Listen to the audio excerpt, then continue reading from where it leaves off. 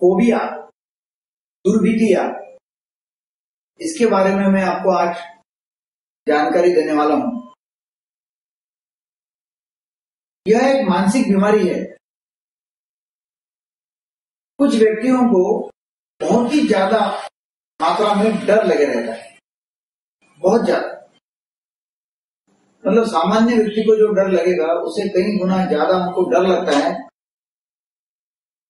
कोई वस्तुओं का, कोई चीज़ों का, कोई जगह का, कोई वातावरण का, कोई व्यक्तियों का, या कोई बीमारी का मतलब इस तरह रहता है।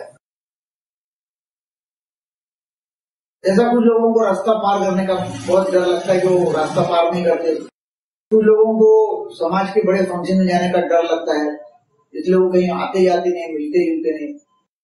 कुछ लोगों को बंद कमरे का डर लगता है और वो बस या ट्रेन या कार से सफ़र नहीं कर सकते या अकेला कमरे में नहीं रह सकते।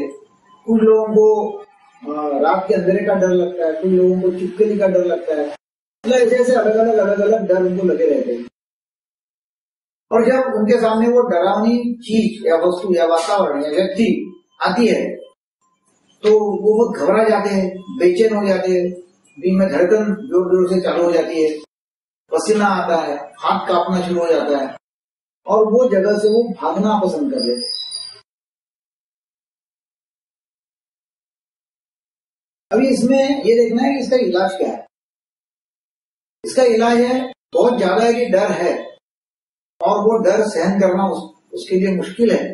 तो कुछ दवाइयाँ हम दे सकते हैं जैसे ट्रैंक्विलाइजर्स रहती है चिंता कम करने की एंजाइटी कम करने की दवाई।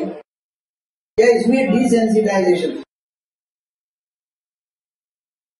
या मानसोपचार, या सम्मोहन उपचार ये उपचार करने से बहुत फ़ायदा होता है। और व्यक्ति सामान्य जीवन जी सकता है।